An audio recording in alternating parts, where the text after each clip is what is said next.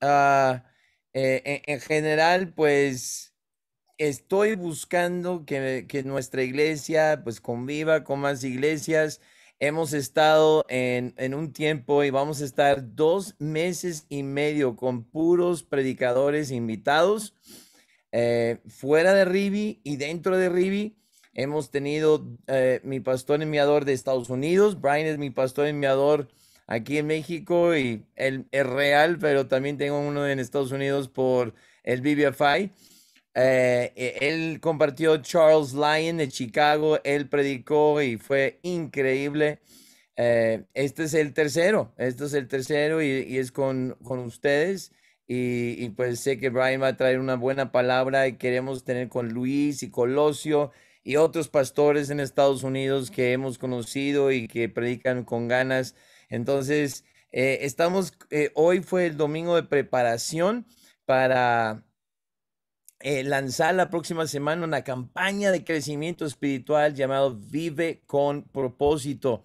Y, bueno, durante dos meses, o sea, seis, siete semanas vamos a estar con eso.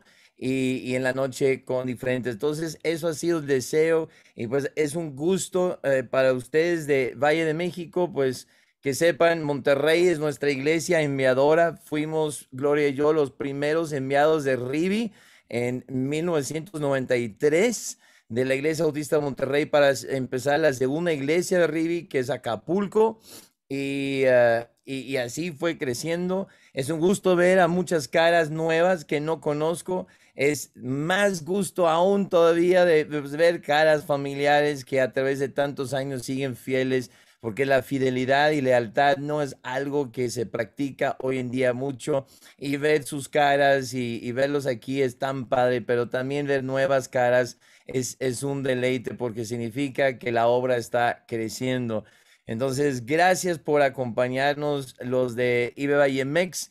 Gracias, IBE Monterrey, por eh, hacer esto también posible, cambiar su horario de 6 y nosotros también eh, eh, de siete y, y, pues ahí en medio, seis y media y es un gusto ver a tantas caras. Sé que Brian va a traer una buena palabra y, y simplemente quiero decir lo mucho que nos amamos. Rivia es otra cosa, es una red de iglesias en donde ponemos la palabra en primer lugar. Cristo es el centro y la razón por todo lo que hacemos y, y eh, por quien servimos y aquí estamos y los que están conectados están mostrando que le dan esa prioridad a Dios, así que gracias, qué bueno y sé que van a ser grandemente bendecidos y, es padre ir conociendo estas cosas con esas preguntas eh, porque conexiones es la mejor forma de combatir aflicciones, ansiedad y problemas en la vida, estar conectado. A Dios y a la iglesia, que es una conexión sobrenatural, sobrenatural. Cuando la iglesia se junta así, ángeles están con nosotros, Dios está con nosotros, su Espíritu Santo está con nosotros, Cristo dice está en medio de nosotros, entonces nada se compara con este tipo de conexiones, así que qué bueno que cada uno está tomando este tiempo. Eh, vamos a grabar el mensaje porque nosotros los domingos de la noche nos gusta hacerlo y subirlo a YouTube por los que no logran conectarse por Zoom, cualquier cosa, y porque queremos que el mundo sepa de la buena palabra que se predica en nuestras iglesias de arriba. Así que vamos a orar y, entregar este tiempo a Dios. Voy a, pedir si uh, Gloria puedes tomar el tiempo, por favor, de orar y entregar este tiempo.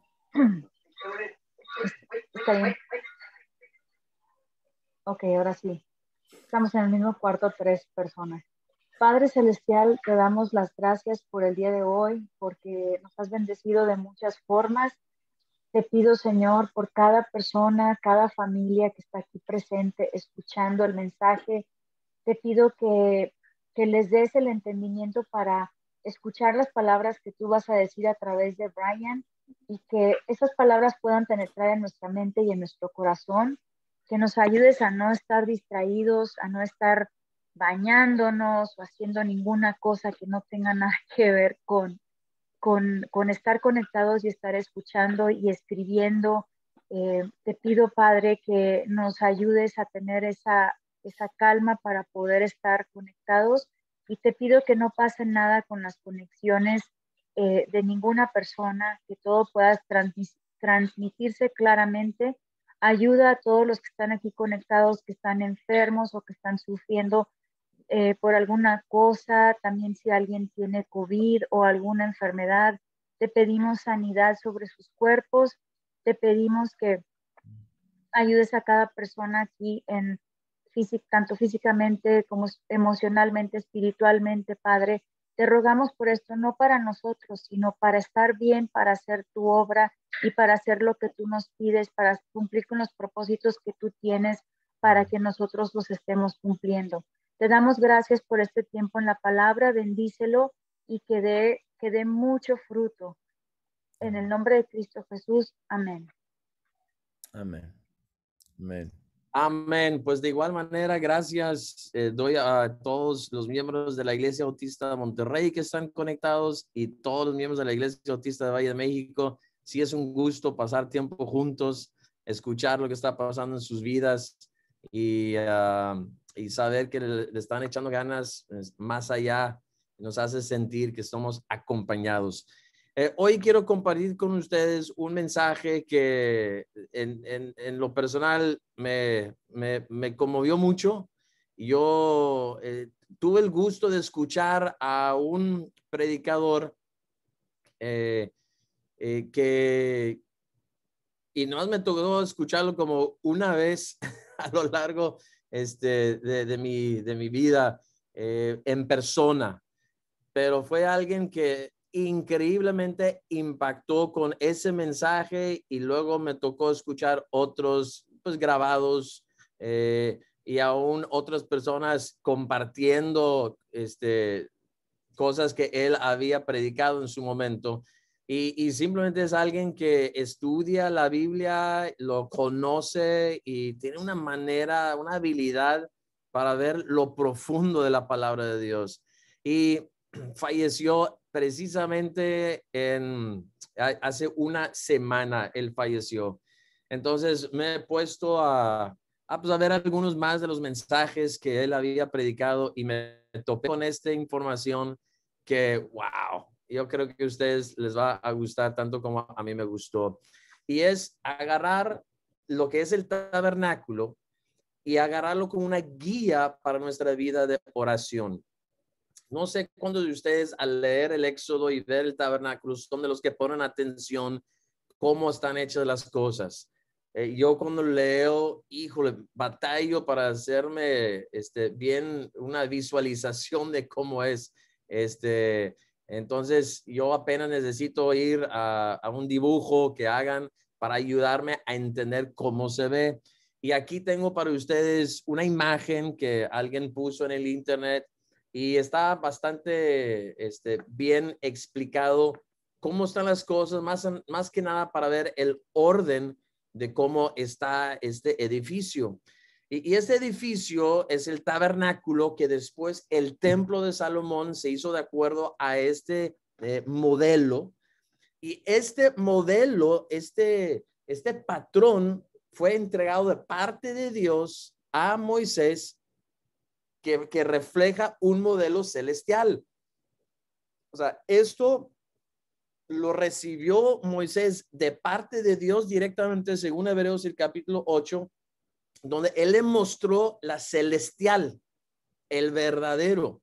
Entonces vemos que este, este elemento, este edificio, esta construcción, eh, te, te, hace ver cómo es aún los, los cielos.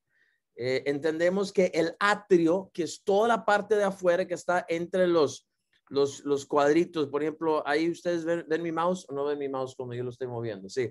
Entonces, toda esta circunferencia de afuera es el, es el atrio, como, eh, como se decía, todo eso era como cortina y eso representa la, lo que nosotros vemos hasta el cielo. El segundo cielo, este, que, que, entendemos es eh, representa lo que es esta parte de aquí, el espacio. Es el lugar santo eh, dentro de lo que es el tabernáculo. Aquí es donde comienza el tabernáculo en sí. Y, por eso hay en la palabra de Dios similitudes de tabernáculo con cielos. Y luego en el tercer cielo es donde estaba el arca de pacto solamente. eh, y esto era el lugar santísimo, como ves ahí que explica. Y ahí es donde Dios iba a tener su morada, donde Él iba a tener su presencia. Y eh, muy interesante que la palabra tabernáculo significa habitación o morada. Entonces, por ejemplo, en Juan el capítulo 1, versículo 14, vemos que el tabernáculo es un cuadro de Cristo y uno de los motivos por lo cual lo sabemos es que en el versículo 14 él dice que aquel verbo que en el contexto es Juan 1.1, el principio era Dios, pero era el verbo, el verbo es, es, este, ay caray, de esas veces cuando ya se te fue, según tú lo tenías, el principio era el verbo, el verbo era con Dios y el verbo era Dios. Pero versículo 14 dice que el verbo fue hecho carne y habitó entre nosotros y vimos su gloria, gloria como del unigénito del Padre, lleno de gracia y de verdad. ¿Sabías que la palabra habitó es una palabra griega que también se usa para hablar de tabernáculo? O sea, lo hace como si fuera verbo. Él tabernaculó con nosotros. Yo sé que de repente se escucha medio raro eso, pero estoy más tratando de poner en verbo la palabra tabernáculo, de que Él habitó con nosotros. Entonces, Dios hizo este lugar de una manera muy específica para poder enseñarnos cómo es que Él iba a morar con nosotros. Y todo el Antiguo Testamento es un cuadro para nosotros en el Nuevo Testamento de cómo es tener nuestra morada con Él y cómo Él tener su morada con nosotros. Queremos hacer de este tabernáculo un lugar donde Él quiere estar. Entonces, para eso tenemos nosotros que aprender a ir con Él y, pasar ese tiempo eh, para que este tabernáculo está en las condiciones. Y, sabemos que la oración y, la lectura son dos cosas muy importantes y eso todo está dentro de este gran cuadro. Entonces, lo que voy a hacer es que les voy a explicar desde la entrada, porque solamente había una entrada, y luego les voy a dar todo el camino de la entrada hasta la, parte de aquí adentro. Entonces, vamos a empezar con entrar en los atrios, que va a ser la primera parte. Luego, la segunda, vamos a pararnos en el altar de bronce. El tercero, en la fuente de bronce. Vamos a entrar al velo. Entrando al velo, nos va a llamar la atención inmediatamente el candelero de oro, el candelabro. De ahí vamos a ver el pan en la mesa de proposición. Entonces, estos cuatro, cinco, seis lo vamos a ver aquí en el altar de incienso. Y luego el séptimo vamos a llegar al donde está el arca del pacto en el lugar santísimo. Y este es el lugar donde simplemente la vamos a pasar con él. Y, y, y eso es, eh, eh, eh, a través de este cuadro vamos nosotros a ver una fórmula o una manera que sería bueno orar. Y, y, no es para ser legalista y decir esto es la forma en que tienes que hacer toda oración, pero sí creo que es una buena guía para nosotros. Cuando tú oras, ¿cómo normalmente empiezas? Yo sé que hay algunos que empiezan confesando su pecado. ¿Por qué? Pues quieren estar limpio de antemano para poder cualquier otra cosa que lo escucha. Está bien, hay un lugar para eso, pero es interesante que no es necesariamente la primera cosa en este eh, tabernáculo, no es como la Biblia, este, como él habla eh, dentro de esta estructura, por así decirlo, no es necesariamente por ahí donde empezar.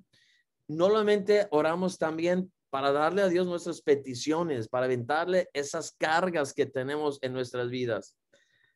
Pero, ¿dónde es el mejor lugar o cuándo en el orden de las cosas es más prudente? Y creo que nos da una buena guía este, eh, este, eh, este cuadro, este, este pintura, eh, o sea, los, eh, entiende, los sacerdotes del Antiguo Testamento, esto era lo que tenían que hacer para llegar a la presencia de Dios. Y tú y yo no tenemos que hacer todo este gran show que ellos tienen que hacer físicamente porque tenemos acceso directo en cualquier momento que lo deseamos. Pero ¿cuál sería la representación en una oración para pasar a, esto? Y mi reto de antemano es que, eh, que tomes apuntes y luego lo practiques por una semana y luego tú, tú me dices después si te gustó, si te ayudó, si sientes que tu relación con Dios y ese tiempo en oración ha sido mejor y más íntimo. Entonces, empezamos con la entrada, ¿verdad? Esta es la única puerta.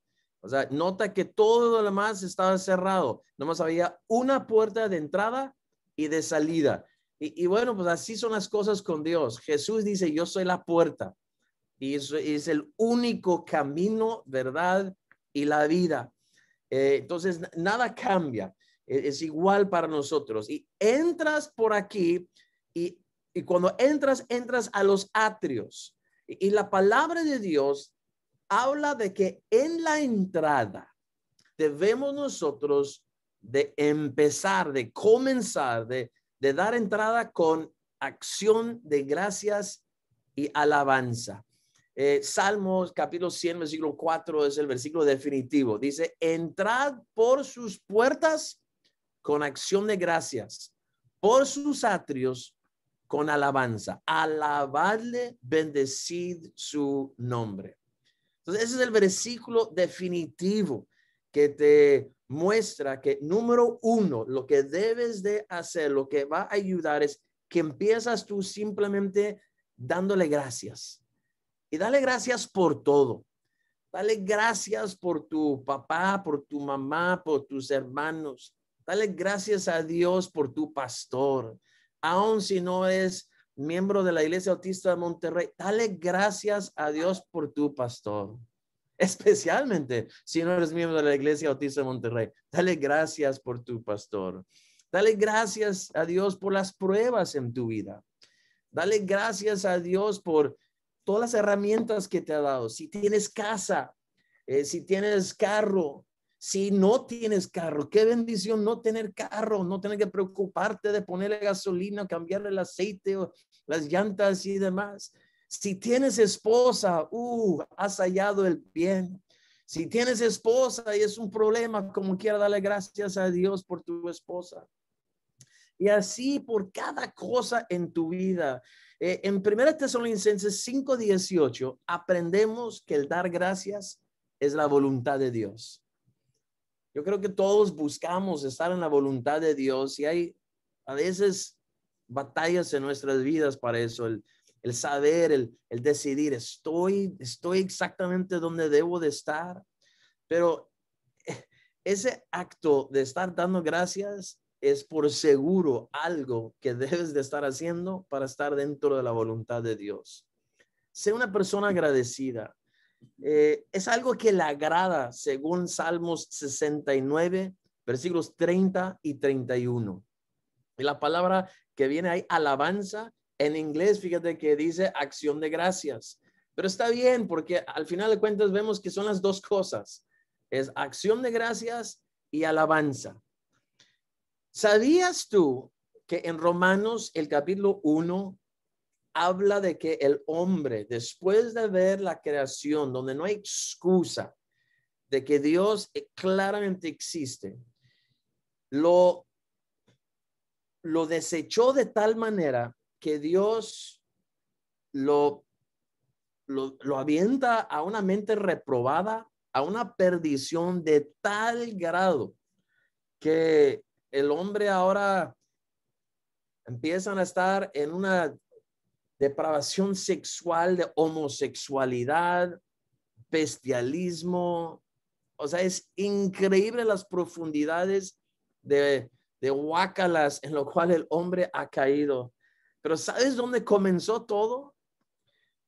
Checa ahí en tu Biblia, ese no lo tengo en pantalla, pero en tu Biblia, en Romanos el capítulo 1, versículo 21. ¿Sabes por qué llegó a eso? Aquí es donde comenzó. Pues habiendo conocido a Dios, no le glorificaron como a Dios, ni le dieron, ¿qué palabra crees que viene ahí? Gracias. No le dieron gracias.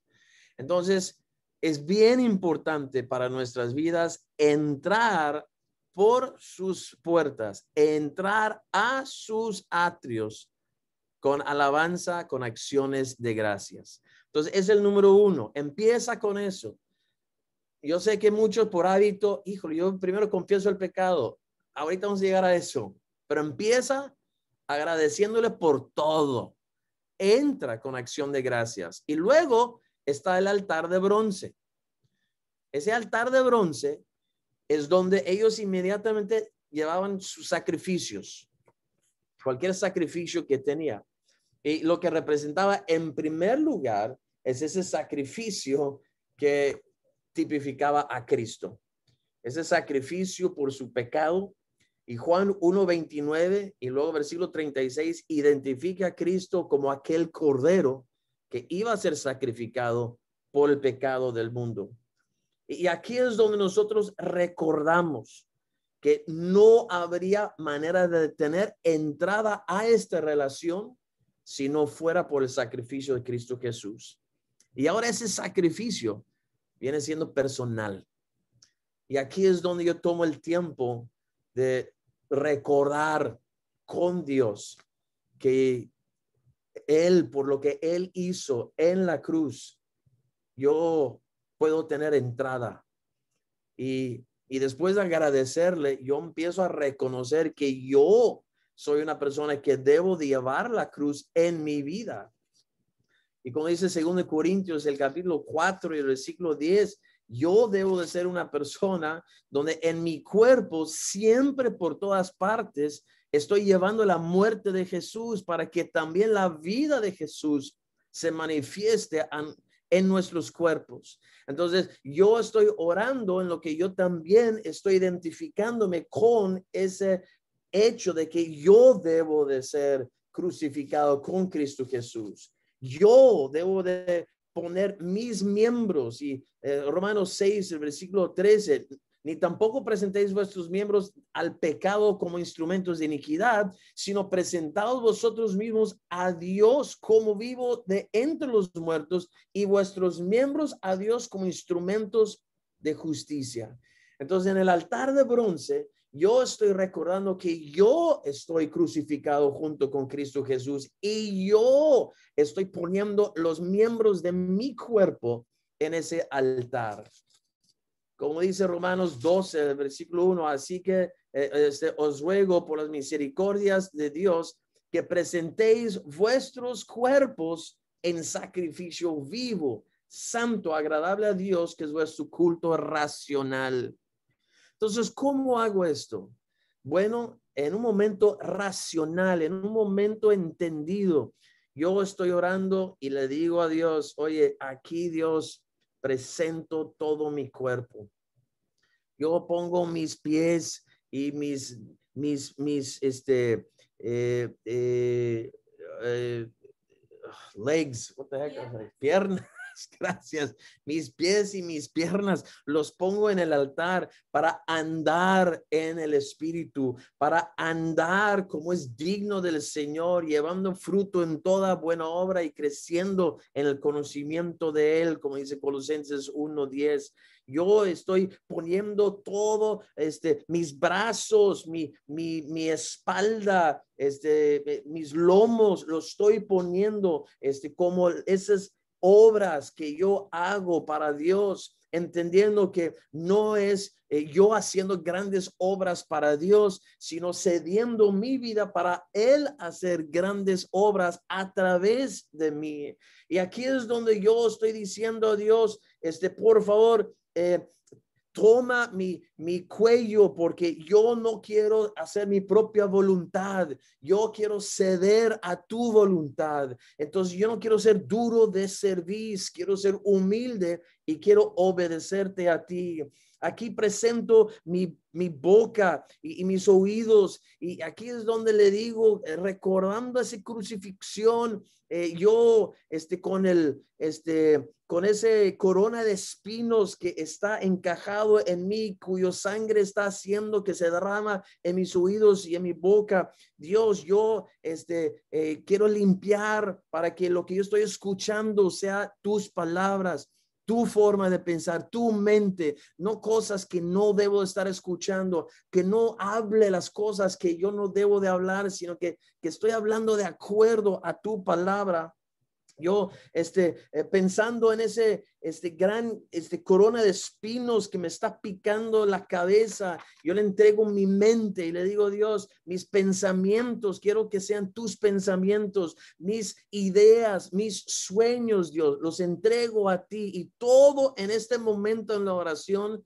tú le vas ofreciendo a Dios, porque ese es el altar de bronce. Y, esa es la siguiente cosa con lo cual tú te topas ahí inmediatamente cuando entras a los atrios.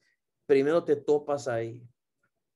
Y, eso es, vuelvo a decir, reconociendo lo que Él hizo en la cruz por ti.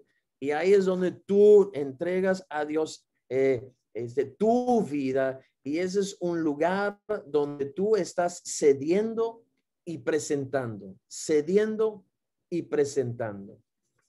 Y ahora llegas sucio porque pues eh, los sacerdotes tenían que hacer, eh, pues degollar el cuello de ese, de ese animal y ahí es donde hubo derramamiento de sangre. Entonces ahora de ahí tenían que ir a la fuente de bronce, que era un tipo tazón o un perol de bronce lleno de agua y ahí es donde el sacerdote se lavaba, se lavaba las manos y los pies en un, eh, pues en un lavamiento ceremonialmente lo tenía que hacer.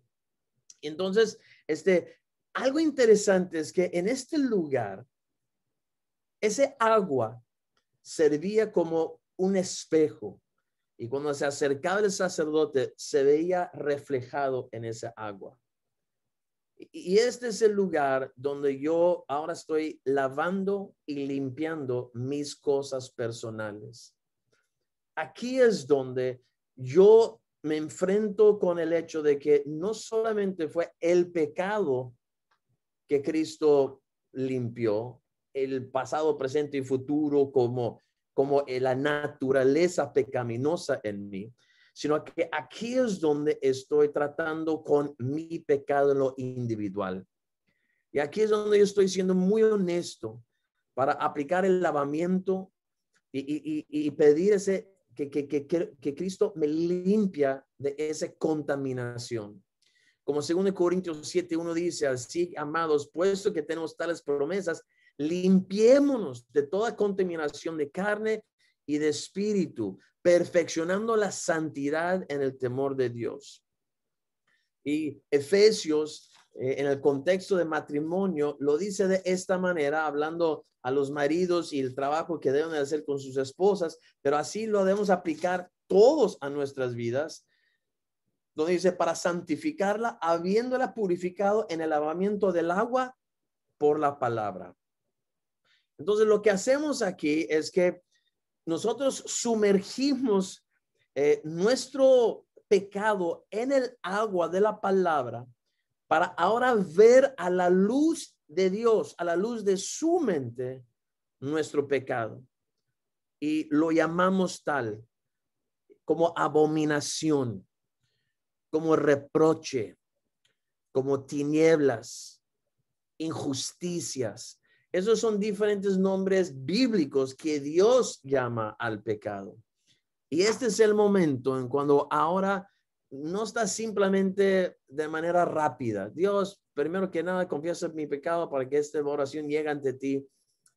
Yo creo que muchos caemos en los hábitos de simplemente pedir perdón y perdón y perdón, porque no estamos realmente enfrentando el hecho de que hay algo que podemos hacer al respecto.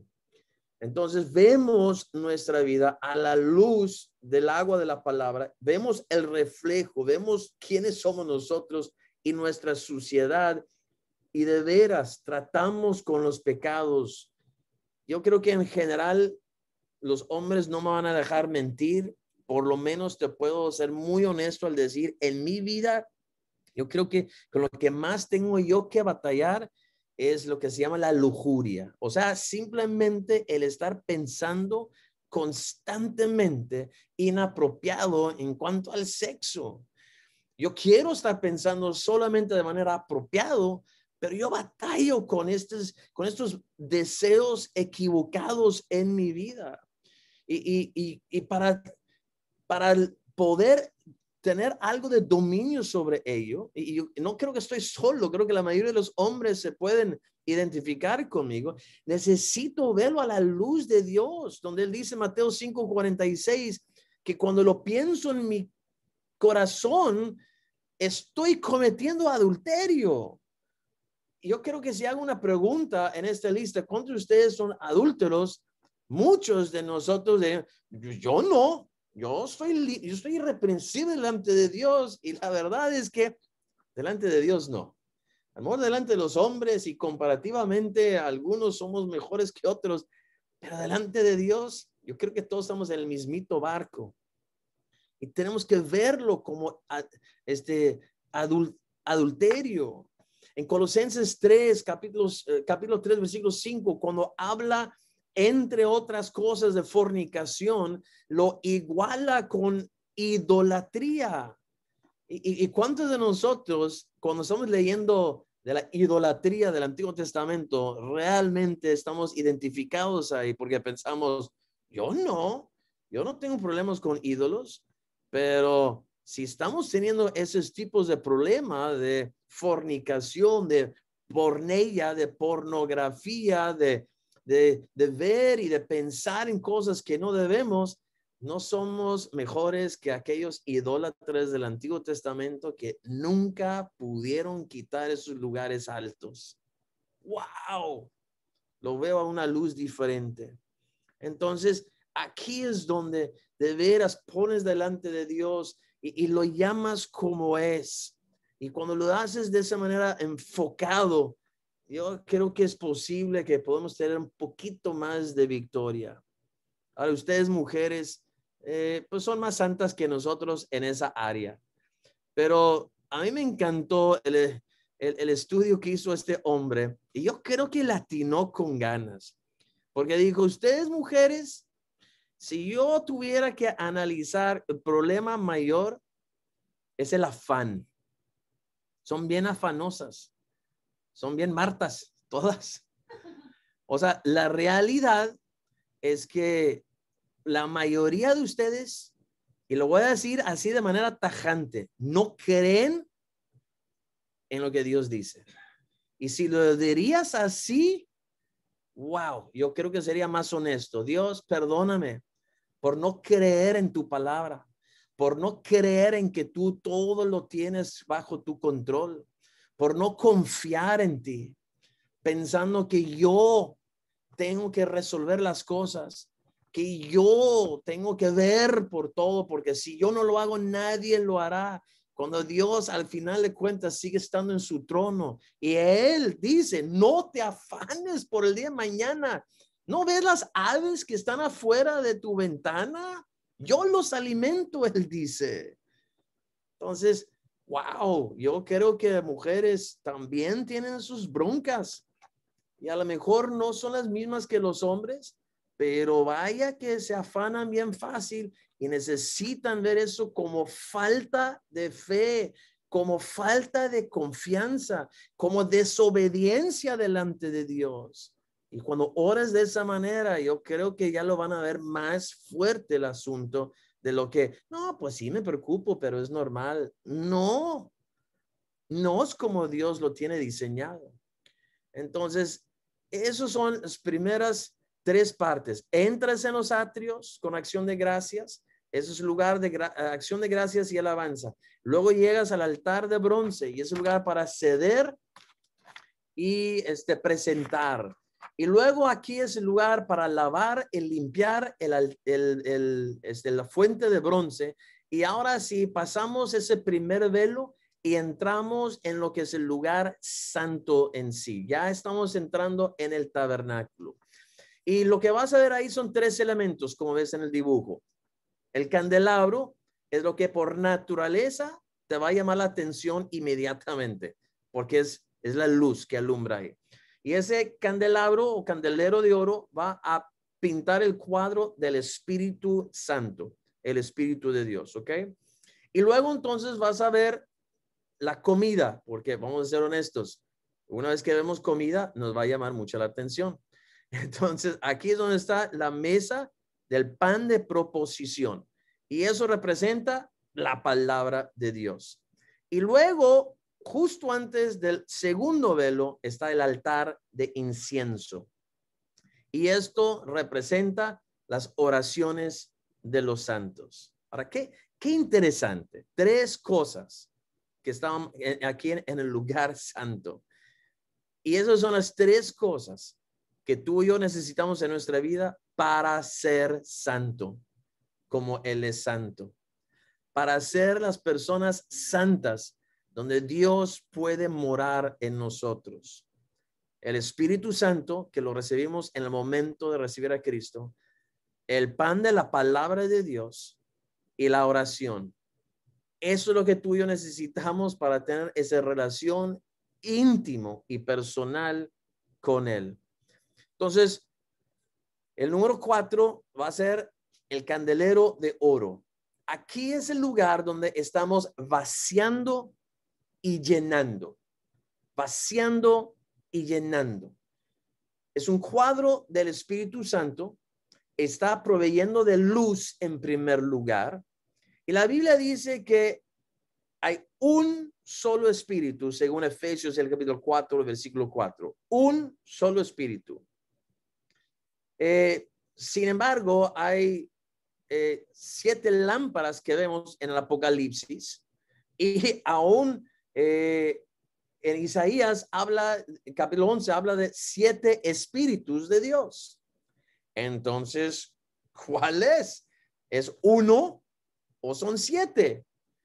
Y, híjole, solo Dios puede ser tan genio de mandar a hacer un candelabro que iba a ser de una sola pieza, pero iba a salir tres hacia un lado tres hacia el otro, con uno en el centro para tener siete. Entonces, uno que se reparte en siete, porque es un solo espíritu, pero que se manifiesta en los siete espíritus de Isaías el capítulo 11, versículo 2. Padrísimo. Ese hecho en sí está con ganas. Ahora, aquí es donde tenemos que reconocer al Espíritu Santo en nuestras vidas. Y cuando estás orando aquí, lo primero que quieres hacer de dos cosas es dejar que Él permea tu vida. Entonces, primero tú estás vaciándote y le dices, Dios, aquí yo quiero vaciarme por completo. Yo quiero que tú me vacías de mí mismo, de mi ego, de mi soberbia, de mi carne, de lo que soy yo. Y quiero que me llenes con tu Santo Espíritu. Y aquí es donde estás pidiendo que haga lo que, lo que Él quiere hacer según Efesios 5:18 antes bien sé llenos del Espíritu. Entonces le dices, cedo el control de mi vida, Dios. Quiero que tú lo diriges. Entonces yo me vacío y quiero que tú lo llenes porque yo quiero tener el fruto de tu espíritu en mi vida. Yo quiero tener gozo, paz, paciencia, benignidad, bondad, fe, mansedumbre, templanza. Contra tales cosas no hay ley. Entonces para eso le estoy pidiendo. Y, las, entonces, la primera parte aquí es el permear tu vida y la segunda parte es el iluminar tu vida.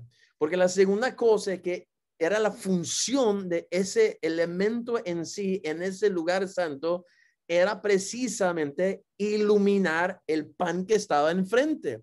Sin eso no se pudiera ver el pan o este el altar de incienso. Entonces, esa función era iluminar y el Espíritu Santo es el designado para guiarte a toda la verdad. ¿Y cuál es la verdad? Juan 17, 17. tu palabra es verdad. Entonces yo estoy pidiendo, ¿qué? Oh, wow. Ok, muy bien. Eso es el, el, producto del Espíritu Santo. Entonces, de antemano, tú estás diciendo, Dios, por favor, según Salmo 119, 18, abre los ojos de mi entendimiento para ver las maravillas de tu ley.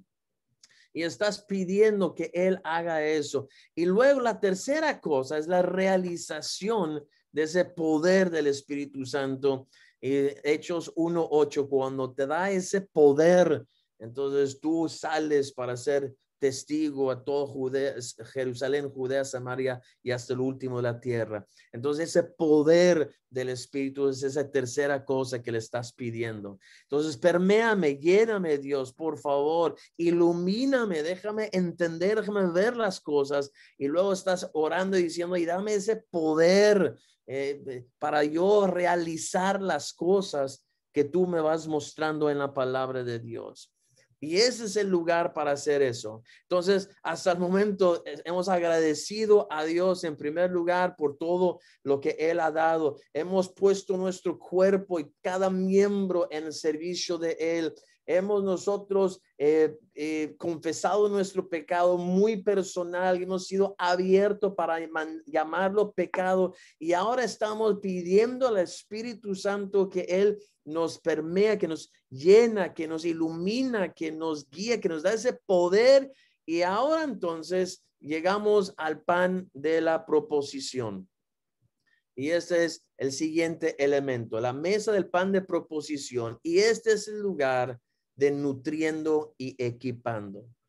Eh, interesantemente, esta mesa está hecho de madera, un cuadro de hombre, pero está cubierto por completo de oro. Qué interesante que la palabra de Dios es algo divino, perfecto, pero escrito por instrumento humano, nosotros. Y luego algo interesante es que ese tipo de mesa, lo que deberían de hacer los sacerdotes cada día era ir a sacar ese pan de proposición y la forma en que lo tenían que poner eran dos hileras de seis piezas de pan. Dos hileras de seis piezas. Ahora, alguien, ¿qué cree que representa dos hileras de seis? Bestia. Esos serían tres. Los dos tienen razón. Son los doce tribus de Israel, pero ¿creen que es casualidad que hay 66 libros de la palabra de Dios? No creo. No creo. Y esto es el Antiguo Testamento, mucho antes de que Pablo había nacido, que iba a escribir cuántos libros del Nuevo Testamento. Pero como él estaba ya diciendo, usando elementos humanos, voy a escribir algo divino. No sé ustedes, pero a mí me encanta. Entonces, aquí es donde estamos aprendiendo a, a decir, Dios, por favor, en lo que yo voy a comer la palabra de Dios, tú por favor, nútreme, nutre mi ser. Eh, así como Jeremías aprendió a comer sus palabras, así lo hacemos nosotros y le pedimos que me nutre y que me equipa, que me crezca, que me, que, me haga fuerte, que, que, que me prepara para el ministerio, como Dios dice en Segunda Timoteo 3:16 que lo hará. Ok, entonces ya le pedimos esto y ahora llegamos al altar del de incienso. Ese es lo sexto. Ahora sí, este es el lugar para darle todas nuestras peticiones. Pero ¿cuánto tiempo ya has pasado con Jesús? ¿Cuánto tiempo ya has pasado con Él antes de llegar a ahora pedirle y ahora encargarle todas tus peticiones. Y sí, este es el lugar de echar y de pedir, echar todas nuestras ansiedades sobre Él y todas nuestras peticiones debemos de hacerle llegar. Y lo que hacía el, el sacerdote, quiero recordarles, nosotros somos los sacerdotes en el Nuevo Testamento, tomaba ahí del altar de bronce, este, este, los, este, pues, lo, que se estaba quemando, eh, y en, en, un, este, este con, con, una pala y lo llevaban y lo ponían en este, este, eh, este sensor. ¿Por qué no estoy pensando en las palabras? Este, pues ese recipiente de oro. Y luego entonces, a través de una, este, un incienso muy específico de que Dios había este, explicado, lo ponían para quemar en la mañana y en la tarde.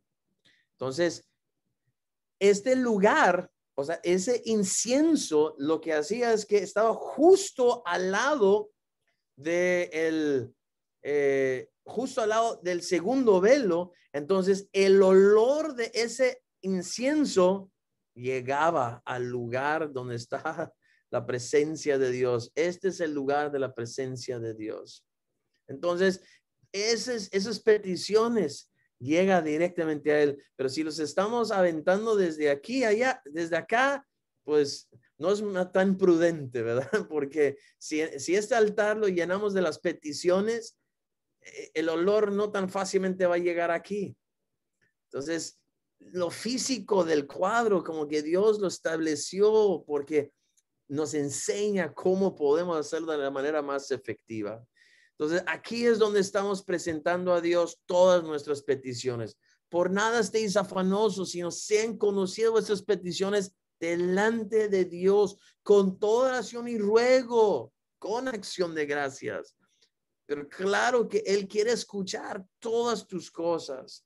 Ese es el lugar de hacerlo. Primero Pedro 5, 7, echando toda vuestra ansiedad sobre Él, porque Él tiene cuidado de ti. Entonces ahí empiezo a poner mis problemas. Dios, por favor, aquí te entrego a mi esposa. No la aguanto. Dios, te entrego a mis hijos. Apenas los aguanto.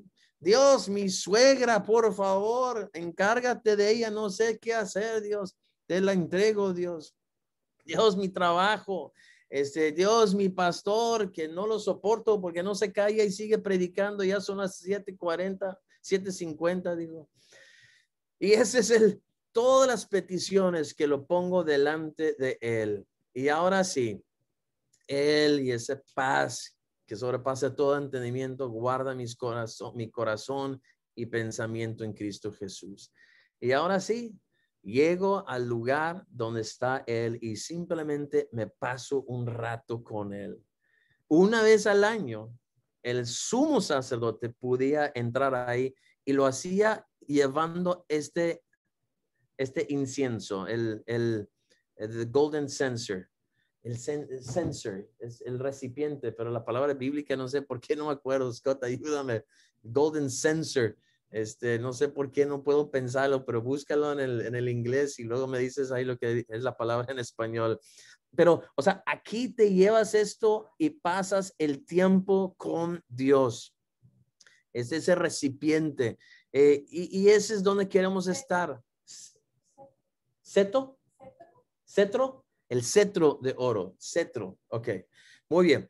Eh, este, es, este es el lugar donde vamos a estar adorando y teniendo compañerismo con Él. y este es el convivio y, aquí es donde estamos pasando tiempo leyendo la Biblia después de haber eh, orado. Seguimos orando en lo que estamos leyendo la Biblia y simplemente estamos en comunión con Él. Estamos nosotros escuchándolo. Él nos está escuchando a nosotros. Y este es un proceso que puede tomar 10 minutos, puede tomar 3 horas. O sea, este es un y, no es a manera legalista de que esta es la manera que se tiene que hacer, pero creo que es un muy bonito patrón que nos enseña el tabernáculo. Y, algo que quiero nomás resaltar al final, los sacerdotes del Antiguo Testamento, ellos sí tenían que hacer este gran rollote para poder llegar a ese lugar de comunión con Él tú y yo tenemos acceso en cualquier momento, a cualquier hora del día. No tiene que ser uno en la mañana y uno en la tarde, lo podemos hacer todo el día si quisiéramos. Y de veras que deberíamos de aprovecharlo.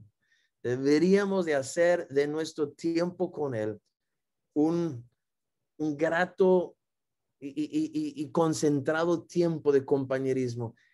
Yo creo que tenemos muchas actividades innecesarias en nuestras vidas en comparación con este tiempo con Él.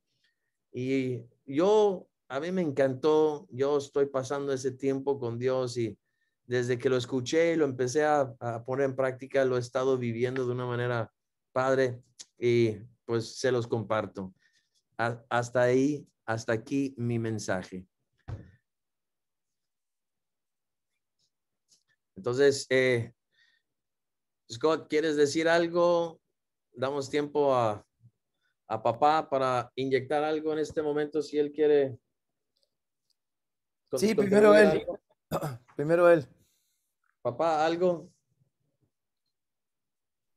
Es increíble la palabra de Dios. O sea, entre más, entre más alguien me lo explica, entre más yo lo entiendo, entre, entre más lo descubro, es, ah, es increíble la, palabra de Dios. No entiendo por qué los judíos no pueden entender eh, un libro este, que les fue escrito a ellos. Este, con solamente el Antiguo Testamento se puede entender tantas cosas. Este, pero entre, en, eh, y, y, esto fue fenomenal, Brian, fenomenal este, tan sencillo, eh, pero alguien te, te, lo tiene que explicar. Y tú hiciste un buenísimo, buenísimo trabajo haciéndolo. Gracias. Sí, sí, sí, totalmente. Definitivamente el Nuevo Testamento es como que la clave para hacer entender cada una de estas piezas en su orden y ahora no nada más es un tabernáculo, eso es un modelo de, de, cómo ah, entrar a su presencia, tener comunión íntima con Él y, y como que la llave es el, eh, eh, el Nuevo Testamento para que descubramos todo eso me encantó, es, es increíble porque apenas descubrí algo que estamos llamando los 310 eh, para hidratarnos eh, y, algo que vi por ahí me encantó, como que 10 minutos de escuchar alabanza y cantar, o sea, alabar a Dios, 10 minutos para ah, orar y 10 minutos para leer la Biblia. O sea, están estos elementos dentro de este modelo, tanto es alabar y, dar gracias a Dios. Eh, es chistoso eh, porque siempre ah, ahora, desde hace unos años para acá, entiendo que es orar y leer juntos. O sea, no es nada más hago una cosa aquí, otra cosa acá. Es algo que debes estar haciendo en diálogo. Eh, oro, leo y wow, Dios, gracias por lo que acabas de decir y luego ah, ayúdame a entender. Eh", y, y, es un diálogo, así debe de ser.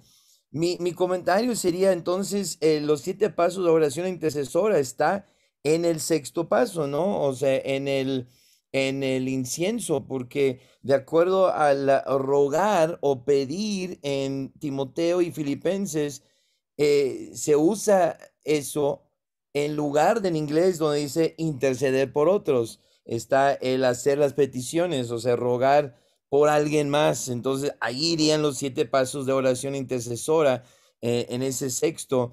Mi pregunta sería, ¿el arca de pacto sería ahí en ese momento tomar decisiones?